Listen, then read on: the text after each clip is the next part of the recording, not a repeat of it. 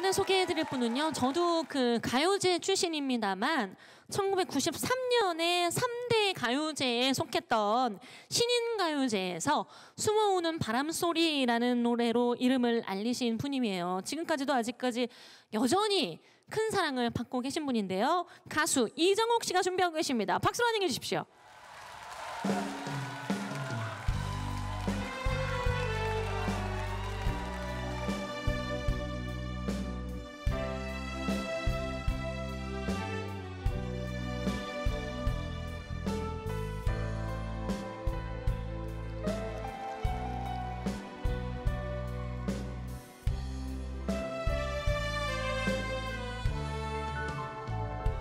갈대밭이 보이는 언덕.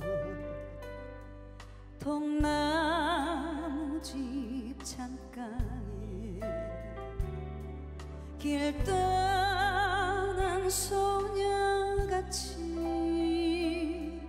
하얗게 밤을 새우네. 김이 나는 차 한잔 마주하고 앉으면 그 사람 목소린가? 숨어오는 바람 소리 둘이서 걷던 갈대밭길에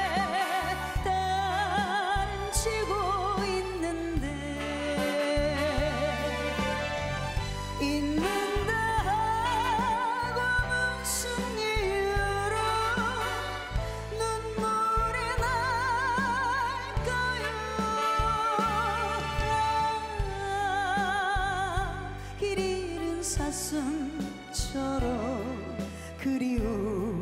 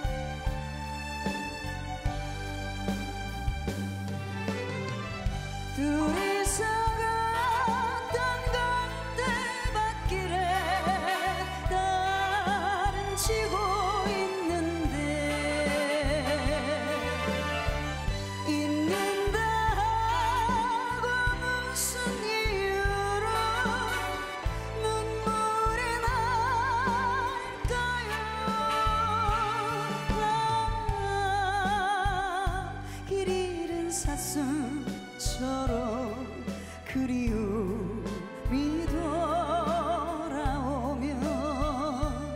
쓸쓸한 갈대수